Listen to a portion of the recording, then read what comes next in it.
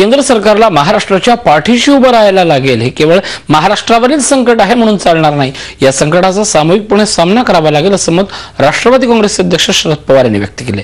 मे जून अखेरीस दुष्काळाची परिस्थिती आणखीन गंभीर होणार असून केवळ मराठवाडाच नाही तर सातारा सांगली अहमदनगर बुलढाणा अशा अनेक ठिकाणी दुष्काळी समस्या तीव्र होणार असल्याचंही ते म्हणाले.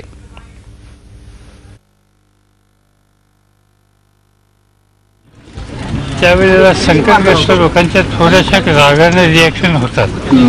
पण आपण त्याची बॅकग्राऊंड समजून घेतली पाहिजे. कारण त्या विचारांना जे कोणी अधिकारी आहेत त्यांचा काय याच्यात दोष आहे? पण त्यांना हा सरकारचे प्रतिनिधी आहेत लवकर काही झालं नाही. त्याच्याबद्दलचा राग यांच्यावर निघतोय. पण मला खात्री आहे की त्यांचा रिपोर्ट योग्य जाईल. राज्य सरकार केंद्र सरकार महाराष्ट्राचं जे काही चित्र ते व्यवस्थित मांडेल. आणि आमच्यासारखे जे संसदेतले लोक आहेत महाराष्ट्रातले तेही केंद्र सरकारमध्ये या संकटात महाराष्ट्राला अधिक मदत कशी मिळेल याबद्दलची काळजी केंद्र